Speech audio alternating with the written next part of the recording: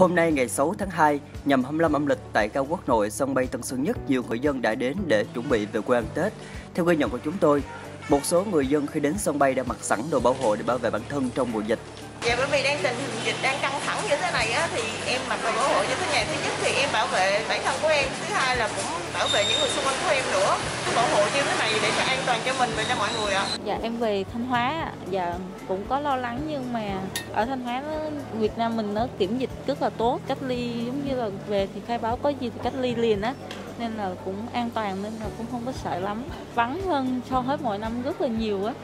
giờ chỉ một 10 phần 10 phần thì giờ chỉ còn được có hai ba phần thôi ngày, nếu mà ngày này đông quá thì rất là đông đông lắm luôn giảm đi 7 8 phần nếu như ga quốc nội thưa thớt khách hơn mọi năm thì tại ga quốc tế sân bay Tân Sơn Nhất năm nay vắng vẻ không một bóng người, khác với không khí nhộn nhịp của các mùa Tết trước đây.